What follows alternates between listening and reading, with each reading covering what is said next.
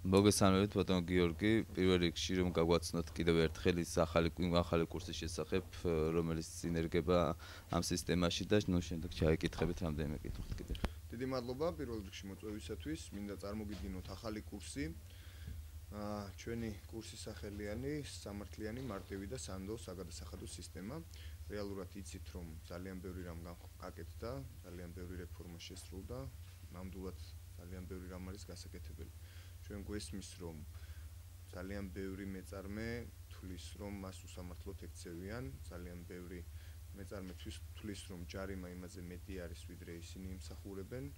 აა ძალიან ხშირად არის კომუნიკაციის პრობლემა მაგრამ თავარი ამოცანა ჩვენი გახლავთ რომ ყოველას უთხრათ და გავაცნოთ ის სიახლეები ის შინაარსი რომელიც არსებობს.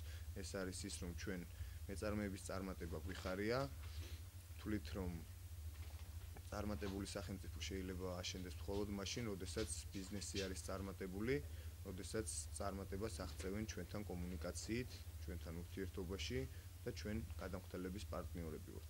ზუსტად ამიტომ ჩვენ დავიწყეთ კიდევ ერთი ახალი წინგადადგმული ნაბიჯი, ნაბიჯს წინ ვდგავთ, რომელიც იწყება 2000 11 წლის 1 იანვრიდან ახალი საგადასახადო კოდექსით, რა თქმა უნდა, ეხლა აღჭერდებით და ყველაფერი მიმდინარეობს, იცით რომ ახალი საგადასახადო კოდექსი და მისგან გამომდინარე ცვლილებები 1 იანვრიდან შედის ძალაში, ყველაზე მთავარი რაც არის, ეს არის მარტივი არაურაზნოროვანი ჩანაწერებით დაკომპლექტებული კოდექსი, რომელიც აქამდე სამწუხაროდ ძალიან ბევრ პრობლემებს ქმნიდა და არის მორგებული იმაზე, რომ დაიცვას გადამხდელების კანონიერი ინტერესი. ასევე უფლებები მათი და ნებისმიერმა გადამხდელმა შეძლოს პირნათლად შეასრულოს კანონმდებლობით დადგენილი ყველა მოთხოვნა. ცირე ბიზნესისათვის იცით, რომ ახალი კოდექსი აწესებს ახალ გადასახადს, ეს არის ბრუნვის გადასახადი, რომელიც არის 5 და 3%-იანი, მათ შეუძლიათ საერთოდ არ აწარმოონ არანაირი ბუღალტერია, მარტივი არითმეტიკა არის და ბრუნვიდან გადაიხადონ 5%. ასევე შემოდის ახალი ინსტიტუტი გარდა იმისა რომ ჩვენ ვცდილობთ ვიყოთ ყველა გადამხდელთან პარტნიორი ეს არის საგადასახადო ომბუდსმენი რომელიც კიდევ ერთი ორგანო და ინსტიტუტი იქნება გადამხდელების ინტერესების დასაცავად.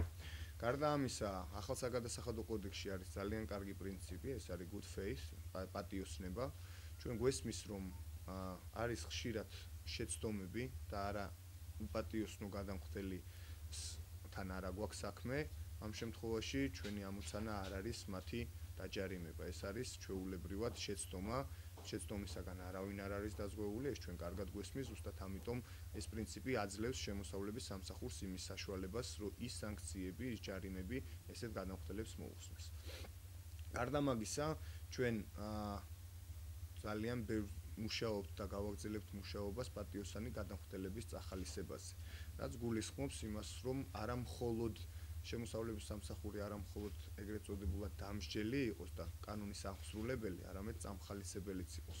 მათ შორის იცით, რომ მოქმედებს უკვე ოქროსია, გარდა ამისა ძალიან ბევრი სხვა პრეფერენცია იქნება გადამხდელებს და ჩვენ ყველაფერს გავაკეთებთ, რომ მათთვის შეღავათები არსებობდეს, ვინც უკეთესია უფრო სწორად, კარგად იცავს კანონმდებლობას. ასევე ძალიან მნიშვნელოვანი არის წინასწარი გადაწყვეტილება. იცით რომ ხშირად ჩვენ გვაკრიტიკებდნენ იმაზე, რომ მიიღეს წერილი, რომლებიც რომლითაც მათ ეუბნებოდნენ თუ როგორ უნდა მოქცეულიყო ესა თუ ის კომპანია, მაგრამ მიუხედავად მაგისა, შემოსავლების სამსახური ბიზნეს მიეტავა. დღეს არსებობს უკვე შესაბამისი წინასწარი გადაწყვეტილება, რომლის დროსაც ბიზნეს შეუძლია მიმართოს შემოსავლების სამსახურს თავის კონკრეტულ ოპერაციაზე თუ როგორ იქცევა, მიიღოს წინასწარი გადაწყვეტილება, წინასწარი დასკვნა ექსპერტები დაждებიან მათ შორის გადამხდელთან ერთად შეიმუშავებენ ამ ყველა კითხვაზე პასუხს და ამ პასუხს ექნება კანონის ძალა და ვერასდროს ისეთ კომპანიას რომელიც ამ დასკვნის შესაბამისად იმოქმედებს ვერავინ ვერ მიეტავება. გარდა ამისა, ჩვენ კიდევ ერთი ახალი ინსტიტუტი შევქმენით, ეს გახლავთ პირადი საგადასახადო აგენტი, რომელიც გულისხმობს თავის თავში, რომ ჩვენ კიდევ ყველანაირ ბარიერს ხსნით გადამხდელებთან. გადამხდელებს შესაძლებლობა აქვთ, რომ ჩვენს რიგებში ყავდეს თავისი წარმომადგენელი. რაც გულისხმობს შემდეგს ალბათ ძალიან ბევრ თქვენთაგანს ყავს პირადი ბანკირი, ეს იგივე კომფორტია და კომფორტის გარდა არის კომუნიკაცია, ეს არის ყველა პრობლემის ძალიან სწრაფად მიწოდება. ეს არის მათ შორის ნებისმიერ საკითხზე შეხვედრა, ინფორმირება და ასე შემდეგ. ჩვენ ძალიან ბევრი ვიმუშავეთ იმისათვის, რომ დაგვედგინა რითი არის გამოწვეული ის დაჯარიმებების, ასე ვთქვათ, შემცირება ხდება. ეხლა თუ შარშან დაახლოებით 80% ჯარიმდებოდა საკონტროლო სალარო აპარატის გამოუყენებლობაზე, დღეს ეს მხოლოდ 10% არის. ამ 10%-ში, რა თქმა უნდა, ხშირი არის შემთხვევები, როდესაც არა გამიზნულად მოხდა სალარო აპარატის არ გამოყენება. შესაბამისად, ჩვენ შემოგვაქვს ახალი პრინციპი, ეს არის გაფრთხილება. შემოსავლების სამსახურს ექნება შესაძლებლობა, რომ გააფრთხილოს გადამხდელი და არ დააჯარიმოს იგი. ჩვენ იცით, რომ ბევრი პრეფერენცია შევთავაზეთ გადამხდელებს. ასევე ბევრი რამ გავამარტივეთ, მაგრამ არ შეიძლება არ გამოიყოს ძალიან მნიშვნელოვანი როგორც არის დაახლოებით საგადასახადო კრედიტი, შეგვიძლია დავარქვათ, ეს არის დეგეგეთი დაბებრის სპეციალური რეჟიმი, როდესაც გადამხდელი, რომელმაც ბიუჯეტში გადაიხადა 200.000 ლარზე მეტი, საბაჟოზე თავისუფლდება დეგეგეს გადასახადისაგან და იგი ჩვეულებრივად სივრცეში ბრუნვაში გადაიხდის ამ დეგეგეს. ეს რეალურად ძალიან ხელს შეუწყობს კომპანიას რო თავისი სახსრები დაზოგოს, უფრო გაზარდოს წარმოება და მათ შორის დაასაქმოს უფრო მეტი ადამიანი. ეს დაახლოებით ძალიან მრავალ ასეულობით მილიონზე არის ერთი წლის განმავლობაში საუბარი, რაც ჩვენ უტოვებთ ბიზნეს იმისათვის, რომ ეს შემოსავლები, ეს დანაზოგი თანხა მათ მოახმარონ თავისი ბიზნესის განვითარებას. ახალი კოდექსი ითვალისწინებს გადასახადების კვარტლურ დეკლარირებას, რაც ასევე სერიოზული კრედიტი არის გადამხდელებისათვის. სამომავლოდ მომავალი წლიდან ჩვენ დაბეგრის ოპერაციებს პერიოდულად ყოველთვიურიდან გადავიყვანთ კვარტლურ გადახდებზე, რაც ახალი ინვესტიციის ტოლფასი არის სახელმწიფოს მხრიდან ბიზნესმენებს. საგადასახადო შემოწმების მოთხოვნა ჩვენ შემოგვაქვს შემოვიტანეთ ინსტიტუტი, რომლითაც თვითონ გადახდოს უფლება აქვს თავის თავი აკონტროლოს. თვითონ განსაზღვროს თუ რა პერიოდი არის მისთვის მისაღები და უფრო სასურველი იმისთვის რომ შემოწმდეს და მათ შორის ძალიან ბევრ კომპანიას აქვს სურვილი რომ ყოველწლიურად იქნას შემოწმებული. ეს იმისათვის რომ 2 და 3 წლის წინ და ჩადენილი დარღვევის ან სამართალდარღვევის შემთხვევაში საურავი არ გაიზარდოს. რაც ასევე წაახალისებს გადამხდელებში იმას, რომ უფრო მეტად მოწესრიგებული საგადასახადო სისტემით და ეკონომიკური ცხოვრებით იცხოვრონ.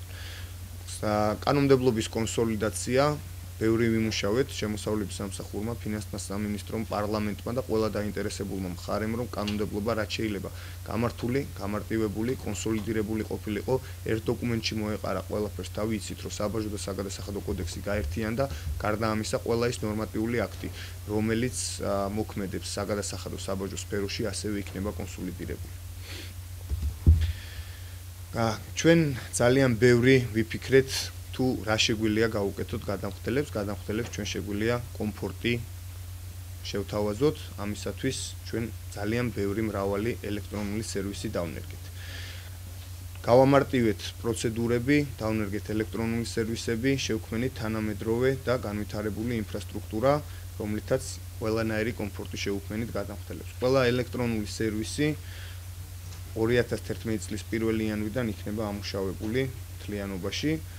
და ასევე 2011 წლის პირველი ნახევრიდან თითქმის დამთავრებული იქნება 99%-ით ყველა ინფრასტრუქტურული პროექტის დასრულება.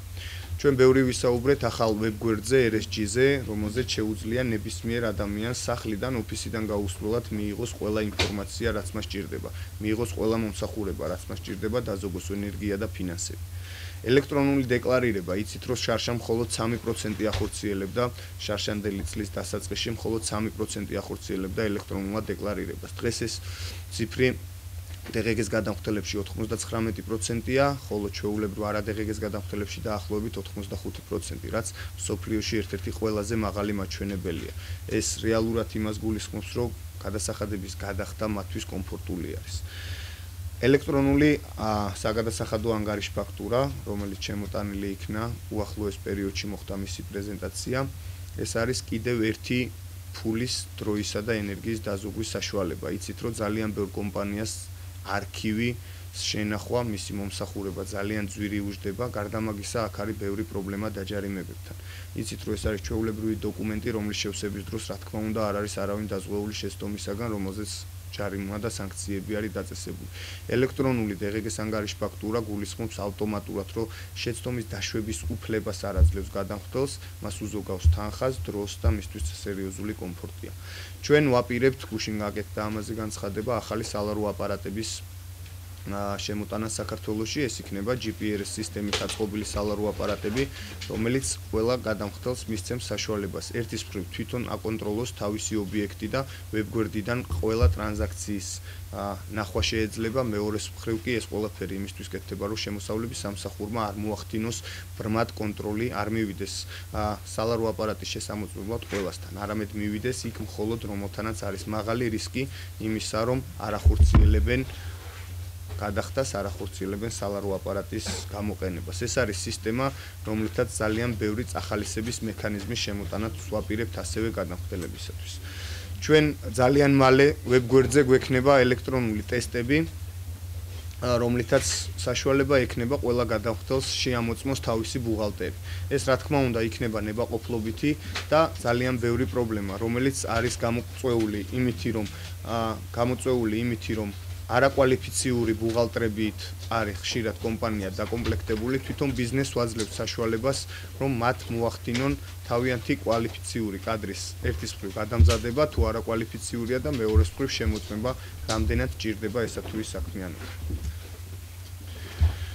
ჩვენ ძალიან მაღალი დონის ელექტრონული ადმინისტრირების სისტემას შევთავაზებთ საზოგადოებას პირველი ნაწილი. აღნიშნული თემის დაძრული არის იცით რომ ადმინისტრირება მთლიანად გადავა ელექტრონულ მართვაზე არანაირი ადამიანის გადაწყვეტილებით არ ხდება და არ მოხდება სამომავლო შემოწმება რაც გულისხმობს შემდეგს რომ ყველა გადაწყვეტილებას იღებს კომპიუტერი კონკრეტულ დავალებას აძლევს ოფიცერს და ოფიცერმა იცის კონკრეტულად რა უნდა განახორციელოს. 99% ყველაფერი იქნება ელექტრონულ ადმინისტრირებაზე საფოსტო გზავნილები. შარშან ძალიან ბევრი კრიტიკის ქვეშ იყო შემოსავლების სამსახური და ჩვენ ეს რეფორმა ორ ეტაპად ჩავატარეთ. სერიოზულ პრობლემებს წავაწყდით, მაგრამ მივიღეთ შედეგი, რომ მხოლოდ ევროპის ორ განვითარებულ ქვეყანას აქვს ის ეს სისტემა, როგორიც ჩვენა გვაქვს დღეს. დღეს ნებისმიერი პოსტით გამომწერს, ასე ვთქვათ, აქვს საუკეთესო სერვისი იმისათვის, რომ შეხება საერთოდ არ კონდეს შემოსავლების სამსახურთან, საბაჟოსთან, თუ ადრე უწევდა მას რიგებში დგომა, აეროპორტში მისვლა, რაღაც გაურკვეველ სიტუაციაში გარკვევა თავისი პრობლემების, დღეს ეს პრობლემა არ არსებობს. საერთოდ ვერ ხედავს შემოსავლების სამსახურის თანამშრომელს, ისე ხორციელდება თავისი ტვირთის გამბაჟება, მას ეძლევა ინვოისი და გადახდა გადაუადათ 30 დღით, რაც ასევე მნიშვნელოვანია. ტრეკერ 7 ეს არის სისტემა რომელიც ამერიკელი ჩვენი მეგობრების დახმარებით დაუნერგეთ. აღნიშნული სისტემით ყო შესაძლებელია ყველა იმპორტის და ექსპორტის ნებართვა აღებული იქნას შემოსავლების სამსახურში რაც ასევე უადვილებს მათ ყოფიერებას ჩვენ ძალიან ბევრს საუბრობთ ინფრასტრუქტურაზე, ალბათ ბევრმა თქვენთაგან მანახეთ გაფორმების ეკონომიკური ზონა, რომელიც რეალურად ახალი სავიზიტო ბარათი არის შემოსავლების სამსახურის. მინდა გითხრათ, რომ 2011 წლის ბოლომდე, 2011 წელს კიდევ იანვარში კიდევ ორი გაფორმების ეკონომიკური ზონა გაიხსნება, ეს იქნება გეზი ადლია და გეზი ფოთი, რომელიც მთლიანად 99%-ით ასე ვთქვათ შეძლებს მომსახუროს ყველა ტვირთს, ყველა იმპორტიორს საქართველოს მასშტაბით. მათ შორის ყველა ვისაც ჩამოყავს მანქანა, ფოჩი, რომლისთვისაც ეს დღესასწაული უნდა იყოს და სამწუხაროდ ბიუროკრატიული პროცედურებიდან გამომდინარე ხშირად ტანჯვაზე, ტანჯვამდე მიდიან ადამიანები. ამ ყველაფერს ბოლო დაესმევა 2011 წლის დასაწყისში. გეზი რეალურად ეს არის უპრეცედენტო სიდიდის საქართველოსში ძალიან ლამაზი მათ შორის 400 ფილიზე მაქვს ამ შემთხვევაში საუბარი 400 ავტომანქანაზე გათვლილი სადგომით სერვის ცენტრი რომელიც საჩეულია 24 საათის განმავლობაში მოემსახუროს ყველა რაოდენობის იმპორტიორს. გაფორმების პროცედურა არ უნდა გაგრძელდეს. 1 საათ